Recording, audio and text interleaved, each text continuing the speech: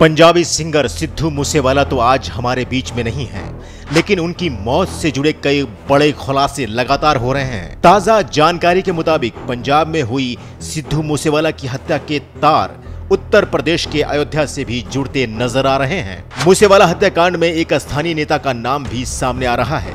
कौन है वो नेता जिसने सिद्धू मूसेवाला हत्याकांड अंजाम देने वाले आरोपियों को शरण दी थी? इसके बारे में आज हम आपको बताएँगे। लेकिन इस खबर ने एक बार फिर से मूसेवाला के चाहने वालों के जख्मों पर नमक छिड़कने का काम कर दिया है। पंजाबी सिंगर सिद्धू मूसेवाला का नाम सुनते ही उनके गाए एक से बढ़कर एक शानदार पंजाबी गाने जहन में कौन उठते हैं। साथ ही याद आता है 29 मई का वो काला दिन, जब मूसेवाला की अपने ही गाँव में दिन दहाड़े बेरहमी से हत्या कर दी गई थी। पंजाबी इंडस्ट्री के उभरते सितारे ने छोटी सी उम्र में देश ही नहीं, बल्कि पूरी दुनिया में बड़ा नाम और मुकाम बना लिया था। लेकिन पंजाबी सिंगर की मौत ने पूरे देश को झकझोर कर रख दिया था। पंजाबी सिंगर की हत्या में लॉरेंस बिश्नोई जैसे बड़े गैंगस्टर का नाम भी सामने आया, जो कई सालों से जेल में बंद है। इसके बावजूद उसने इस हाई प्रोफ़ाइल हत्याकांड को अंजाम दिया। साथ ही मूसेवाला हत्याकांड के तार विदेशों से भी जुड़े नज़र आए। अब इस हत्याकांड को लेकर एक और बड़ा खुलासा हुआ है, और वो ये कि इस हत्याकांड के तार उत्तर प्रदेश से भी जुड़ते नज़र आ रहे हैं। ताज़ा जानकारी की माने तो मूसेवाला की हत्या की प्लानिंग यूपी में रचे जाने की बात सामने आई है।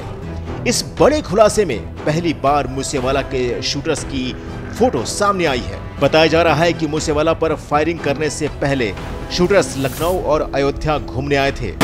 और यहीं पर सभी शूटर्स की ट्रेनिंग हुई थी। बताया यह भी जा रहा है कि इन शूटर्स ने यूपी में भी किसी बड़ी वारदात को अंजाम देना था, लेकिन वो असफल रहे, जिसके बाद मूसेवाला की हत्या का प्लान बनाया गया। मूसेवाला हत्याकांड से जुड़े इस खुलासे में सामने आया है कि करीब सात शूटर अयोध्या में एक स्थानीय नेता के फार्म हाउस में ठहरे थे। इन तस्वीरों में सचिन बिश्नोई, सचिन भिवानी और कपिल पंडित साफ़ नज़र आ रहे हैं। सचिन बिश्नोई, लॉरेंस का भांजा है और मूसेवाला हत्याकांड का मास्टरमाइंड है। सूत्रों की माने तो मूसेवाला के शूटर्स की ये फ़ोटो बाहुबली नेता विकास सिंह के ठिकाने पर मौजूदगी के वक्त की है। इन तमाम फ़ोटो में सचिन बिश्नोई, कपिल पंडित, सचिन भिवानी समेत कई गैंगस्टर नज़र आ रहे हैं। इतना ही नहीं, इन शूटर्स ने यही हथियारों की खेप तैयार की थी। हत्याकांड के बाद सचिन बिश्नोई दुबई के रास्ते फर्जी पासपोर्ट का इस्तेमाल करके अजरबैजान भाग गया था, लेकिन बाकी शूटर्स पकड़े गए। फ़ोटो में आप देख सकते हैं कि कैसे ये शूटर्स विदेशी हथियारों की नुमाइश कर रहे हैं। ये एडवांस टेक्नोलॉजी वाले हथियारों की खेप, मूसेवाला हत्याकांड की साजिश और बैकअप हथियार के तौर पर इस्तेमाल करने के लिए इकट्ठा किए गए थे। यही वजह है कि जल्द सचिन बिश्नोई को दिल्ली पुलिस की स्पेशल सेल अयोध्या लेकर आएगी और वहाँ उससे पूछताछ करेगी। लॉरेंस बिश्नोई का भांजा सचिन इस वक्त स्पेशल सेल की रिमांड पर है।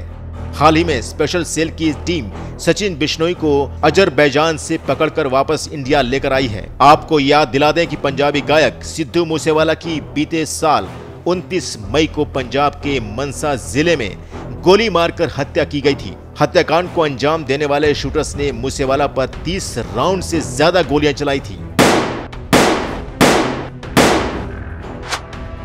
पंजाब राज्य सरकार की ओर से सिद्धू मूसेवाला की सुरक्षा घटाए जाने के ठीक एक दिन बाद ही इस हत्याकांड को अंजाम दिया गया था। जाँच में यह भी सामने आया था कि मूसेवाला की हत्या से पहले शूटरों ने उनकी रेकी की थी। बिश्नोई गैंग के एक्टिव मेंबर गोल्डी बराड़ ने फेसबुक पोस्ट करके हत्या की ज़िम्मेदारी ली थी। बराड़ ने कहा था कि अपने एक साथी की हत्या का बदला लेने के लिए ये मर्डर किया गया था। वहीं लॉरेंस बिश्नोई ने भी एक निजी चैनल को दिए इंटरव्यू में ये कबूल किया था कि उसके गैंग ने ही अपने साथी के मर्डर का बदला लेने के लिए मूसेवाला की हत्या की थी।